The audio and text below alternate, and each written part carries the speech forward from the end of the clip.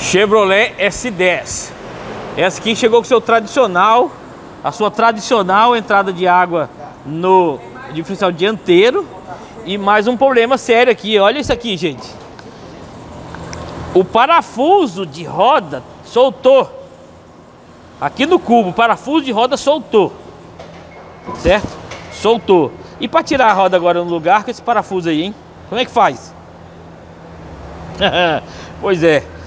Tivemos que precisar toda a habilidade do grupo Águia. Aí, guerreiros, tem uma folga também absurda aqui na articulação, ó. Vou mostrar pra vocês, ó. Olha aí. Olha que folga. Tá vendo, guerreiros? Isso tudo aqui a gente descobriu com a troca de óleo, tá? Uma troca de óleo. Folga na articulação. As duas, você tá afogada? Folga na articulação. Essa aqui tem, tá bem bastante a outra. Essa aí tava. Até pra perceber, né? E aí, guerreiros? O cubo aqui, ó. O, a, a porca ficou rodando na frente do, com, com, com, com a roda presa lá. Ficou rodando. E aí, como é que tira, Netão? Você tinha que ter mostrado, Netão. Pois é, eu cheguei aqui, já estavam tirando já, já estava no final do serviço. Mas é uma habilidade que a gente tem aí, né, guerreiros? E aqui lá no começo do canal já teve um S10 com esse problema de soltar a porca do o prisioneiro dentro do cubo aí. Beleza, guerreiros? Então vamos lá fazer o seguinte, confere a história desse serviço aí após a vinheta.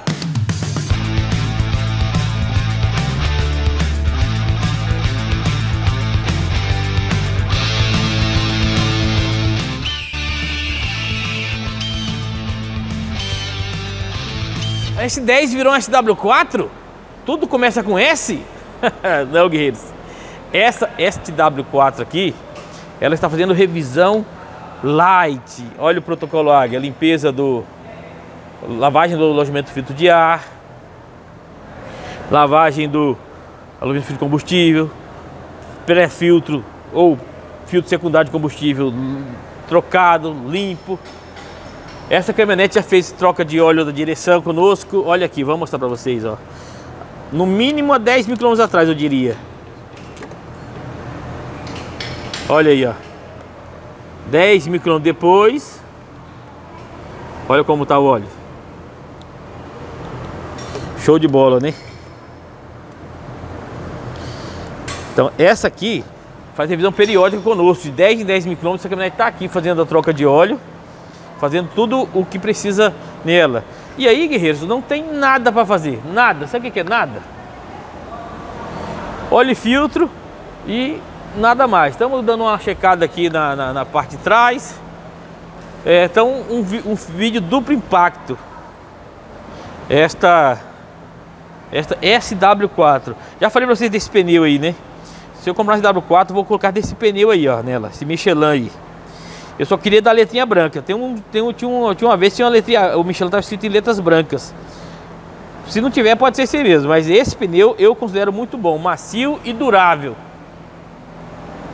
Voltando a falar da SDS, tirou aqui a articulação, certo? Tirou a articulação fora. A coifa estava furada a caixa. Gente, eu vejo essas trocas de óleo aí. Cadê a coifa furada?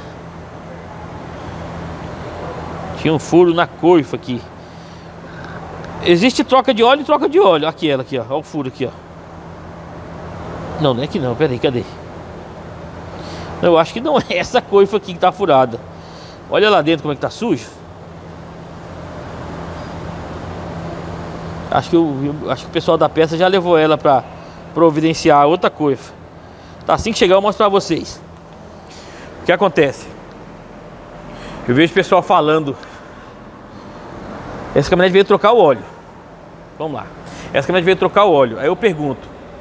É, era óleo e filtro no começo, tá? Beleza? Quando a gente levantou a caminhonete, viu folga na, na articulação, folga terminal, cubo caindo e o parafuso queria sair. Quanto que vale, na sua opinião, quanto que vale essa avaliação na troca de óleo? Óbvio que não tem que tem um custo. Você não chega aqui, coloca no, no elevador, solta o óleo, põe um filtro e te entrega. Não. Tem uma avaliação. E, nesse, e nessa avaliação, periódica de 10 mil, existe a é, lubrificação do cardan e de qualquer outra parte que esse veículo possa ter de lubrificação, regulagem de freios e reaperto de alguns itens de segurança. A pergunta que eu te faço é quanto vale essa revisão? Quanto vale essa... Fala aí nos comentários, quanto você acha que vale? Beleza? E olha aí, se vai num posto ou num, num- num pessoal que vende troca de óleo, não, sou, não estou sendo contra pessoal que faz troca de óleo, não é isso. Eu estou mostrando que caminhonete como essa aqui, que é do regaço, gente, que é do repuxe, precisa fazer revisões periódicas, sempre. E nada melhor que no momento da troca de óleo você fazer isso. Beleza? Essa S10 aí também tá no. Tá aguentando. Essa aqui aguenta pancada também, hein? Cabine simples. Ou seja, é caminhonete do uso soviético.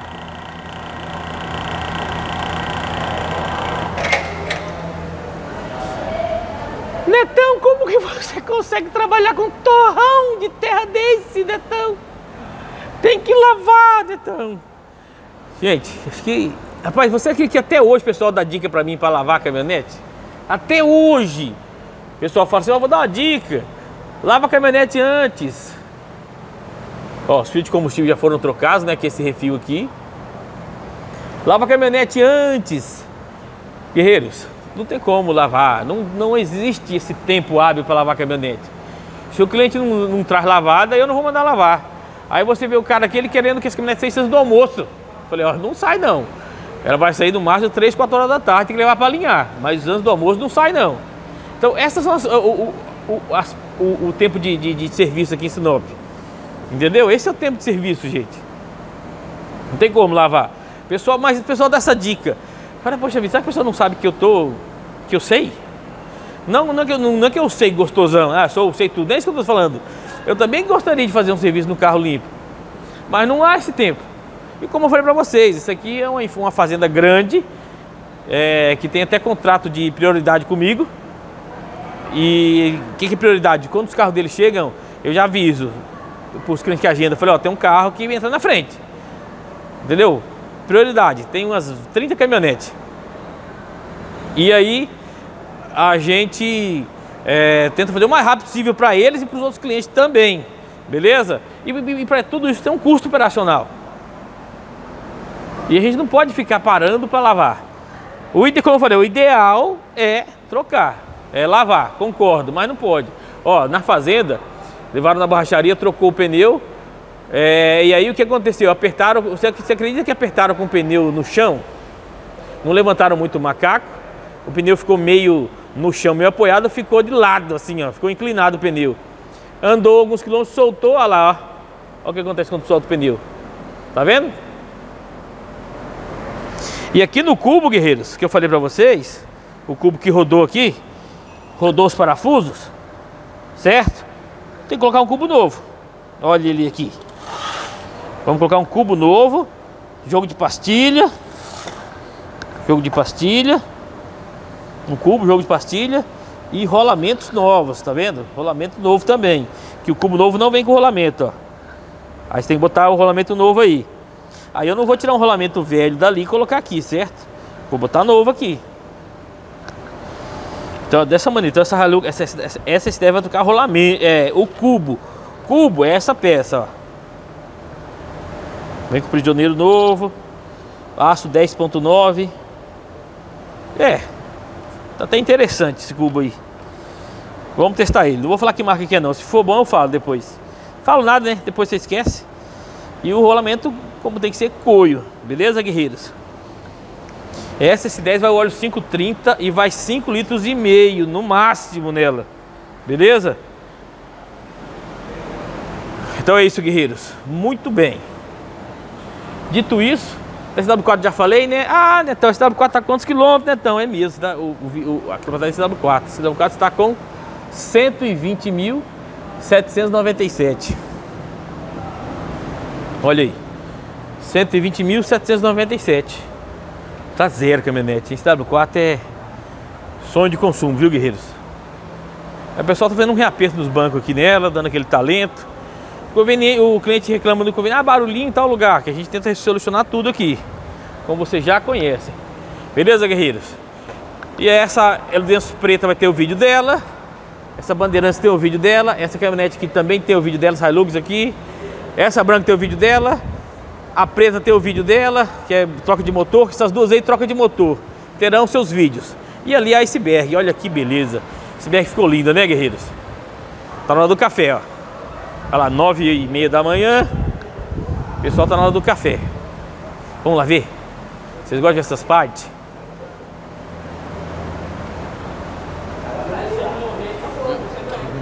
Ali, todo mundo café, ó. Olha, cadê o menino chinês? Diogão.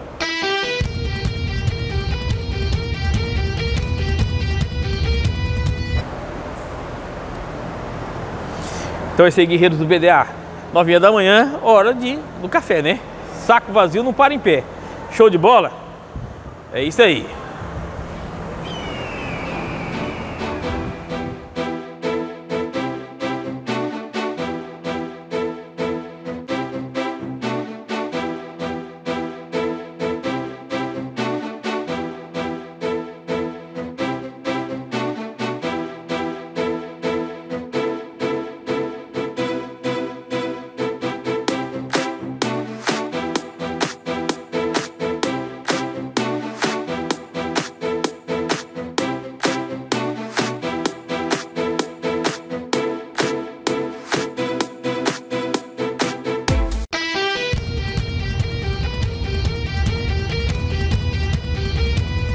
SW4 diminuiu?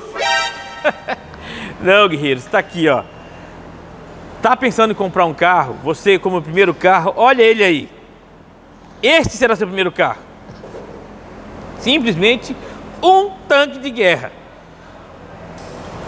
Esse aqui, ó, 89.793. Toyota Etios 2016 Tá trocando amortecedores com 90 mil quilômetros. E trocando porque bateu no buraco, né, Eugênio, esse lado aí? Bateu, estourou os dois. Estourou os dois? Passou no buraco, guerreiro, quebra-mola, sei lá. E estourou os dois amortecedores. Também com 90 mil, olha lá, olha como que tá vazado. Olha como que vazou. Tá vendo? Então não tem jeito. E original ainda? Olha lá, original ainda. 90 mil e vazou porque bateu no buraco, rampou um quebra-mola aí, sofreu um incidente. Beleza, guerreiros? Dá uma olhada. Então, tá pensando num carro top, bom, que não vai te encher o saco? Toyota Etios. Certo? Toyota Etios. Desses carros, esses carros ditos populares aí, esse aqui, se fosse me comprar, seria ele. Netão, mas ele é meio feinho, né, Netão? Então, mas beleza, não se põe na mesa, né? Ou põe na mesa? Põe, né? Não sei. Ele não é feio, depende do, depende do, do ângulo, ele fica assim bonitinho. Entendeu? Então, guerreiros, esse aqui é um carro interessante. Aqui na S10, olha aí. Que é isso, hein? Mifia já ligou o modo de seu ligeirinho e já montou o cubo. Chique show, Mifia. Já, já tá montadinho já, já. Reguladinha, apertou, graxa nova. Graxa azul. Qual é que é, vizinha? Graxa azul. Tá no jeito, pessoal.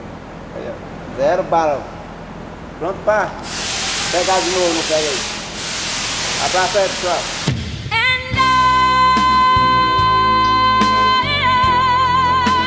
Olha aí, pastilha. Chique show, né, guerreiro? Chique show. Ó, o óleo, óleo diferencial dianteiro, como sempre, olha lá, branquinho, ó. Cheio de água. Já colocamos um novo aí. Beleza? Essa W4 tá pronta. A W tá lá na frente. A W4 tá lá na frente. Essa Hilux Flex, essa 10 Flex apareceu num vídeo de passando o dia na Olha que a Garbosa tá aqui, ó. Olha a Garbosa aqui fora. Não tem vaga aqui na frente. Essa azulzinha aqui tá esperando uma peça difícil, ponta de eixo, guerreiros. Não tá tendo. Até eu tô com dificuldade para achar ponta de eixo. E para trazer do Japão o frete é muito caro, né? Muito peso, muito grande. É a Gabarito, a Hilux Gabarito. Nissan Frontier, olha que teremos em breve. Vídeo desta Nissan Frontier. É, tá esperando chegar as peças dela pra gente começar a desmontar. Já tá tudo autorizado, já tá só esperando chegar as peças. HB20, tá aí para ver um negócio, estrada do nosso calheiro da oficina, o nosso cara que faz a manutenção do telhado aí, vamos dar um talento para ele. E a SW4, que participa desse vídeo, está aqui pronto o, a revisão dela. Beleza, guerreiros do BDA? Então é isso aí. Olha só, o tambor da Bardal, guerreiros. O que vocês acharam agora aí? Lindo, né? Qual que é mais bonito, da Bardal ou da Repsol? Qual que você prefere, da Bardal ou da Repsol? O que, que eu falo agora, hein? Da Repsol aquele tricolor, aquele branco, laranja e vermelho Não, ou esse Bardal aqui? mais bonito. Da Bardal? Bardal mais bonito. Depois vamos colocar os dois de lado ali vamos ver. Da Bardal mais bonito. Vai dar uma sambada aí? Será que eu consigo ainda? Aí vem desespero, machucando o coração. Eu me entrego. Ué, cadê a S10? Guerreiros, então é isso, ó. A S10 saiu, né? A S10 já foi embora e eu não encerrei o vídeo, mas já estava na reta final, vocês acompanharam. E aqui estamos com este este Up, Volkswagen Up, fazendo uma revisão, troca de óleo. Olha as peças da S10 aí no chão aí, tá vendo? Peças da S10 aí no chão, troca de óleo, vendo essa parte aí de, de suspensão, freio, dando aquela geralzinha aí. Beleza? Ele mesmo. O filho de Dona Salete. Beleza, guerreiros? Então a S10 já foi. A S10 já foi, a ZW4 já foi. Aquelas outras caminhonetes ficaram prontas já. Beleza? Vocês acompanharam aí o desenrolar desses serviços. Show de bola? Como já saiu, guerreiros, agora vamos só é, terminar com esse appzinho aqui. Para encerrar diferente. Já tem algum app no canal? Já tinha algum serviço de app? Netão, você mexe com esses carros, Netão? Só quando é de cliente. Entendeu? Esse carro aqui porque é frota que a gente dá assistência. Mas não de pessoas que não é cliente, a gente não trabalha. Estamos evitando pegar guerreiros. Vamos, vamos manter na caminhonete. Vai ser uma oficina de caminhonete e nesse caso, que é uma empresa que a gente dá assistência, aí esse aqui é carro do escritório, tem que até fazer a gente dá assistência, esse carro do escritório, portanto, tem que mexer. Não vou para levar em outro lugar uma troca de óleo de um app, né, guerreiros? Vamos falar a verdade. Mas a gente não pega, tá bom? O nosso forte é caminhonete. Beleza, guerreiros? Por isso que é BDA 4x4. De vez em quando aparece os, appzinhos aí. Desta maneira tem mais um vídeo. Você já se inscreveu no canal? Você já se inscreveu? Dá like no vídeo. Isso, comente aí, manda um oi, manda um lá, manda um boa noite, manda qualquer coisa. Fala o que você está assistindo agora. Escreve uma passagem bíblica aí no, no comentário. E o like. Pessoal, vocês não estão dando like, gente. Dá like ou dislike, mas se manifeste, beleza? Águia Automecânica 4x4. Respeito por você, respeito por sua caminhonete. Até o próximo vídeo, se Deus quiser. E aquele abraço.